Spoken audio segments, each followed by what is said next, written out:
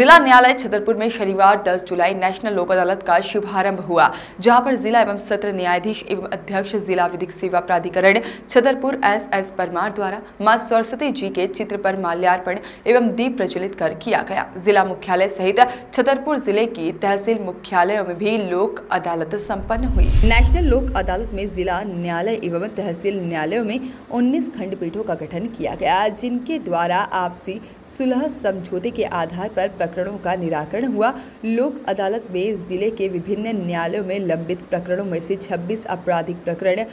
NI act में संबंधित 30 प्रकरण, साथ ही में एम ए सी टी के छप्पन प्रकरण, विद्युत के 117 प्रकरण, वैवाहिक 31 प्रकरण, साथ ही में 45 अन्य प्रकरणों का इस प्रकार कुल 341 पेंडिंग प्रकरणों का निराकरण आपसी सुलह समझौते के आधार पर किया गया। नेशनल लोक अदालत में चार करोड़ पैंसठ लाख चौंसठ हज़ार तीन सौ एक का अवार्ड पारित किया गया। लोक अदालत से एक हज़ार पाँच सौ अट्ठावन लोग लाभान्वित हुए। इस लोक अदालत में आठ सौ सत्ताईस प्रकरणों का निराकरण आपसी सुलह समझौते के आधार पर किया गया, जिसमें बैंकों से संबंधित चौरानवे विद्युत विभाग के चार सौ बहत्तर और बी एस एन एल व अन्य विभागों के एक सौ तिरानवे एवं नगर पालिका के चौंतीस प्रकरणों का निराकरण आपसी सुलह व समझौते के आधार पर हुआ।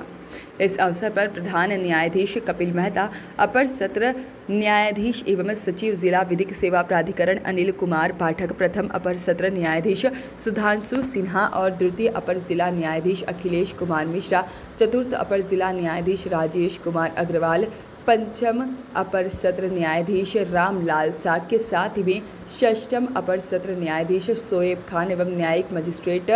राजू सिंह डावर, देवेश मिश्रा, भूपेंद्र यादव, श्रीमती संध्या देवेश मिश्रा, श्रीमती आकांक्षा यादव, ब्रजेश कुमार, चंसोरिया, राज पांडे, ऋषि तिवारी व कुमारी प्राची चौधरी एवं अध्यक्ष अभिभाषक संघ राकेश दीक्षित एवं बीमा कंपनी विद्युत विभाग एवं नगर पालिका बीएसएनएल एवं न्यायालय में पदस्थ कर्मचारी एवं पक्षकार मौजूद रहे। सर आपका शुभ नाम? मुरलीधर शुक्ला राजस्व अधिकारी नेशनल लोक अदालत थी नगर पालिका कितने प्रकरणों का निराकरण पचास संपत्ति कर के प्रकरणों का निराकरण हुआ है पच्चीस जलकर का। और जिसमें टोटल वसूली आई है छः लाख पच्चीस हज़ार दोनों की मिलाकर। एक लाख पच्चीस जल कर की और छः लाख कुछ है संपत्ति करके वॉइस ऑफ़ राइट्स के लिए छतरपुर से विनोद गुप्ता की रिपोर्ट।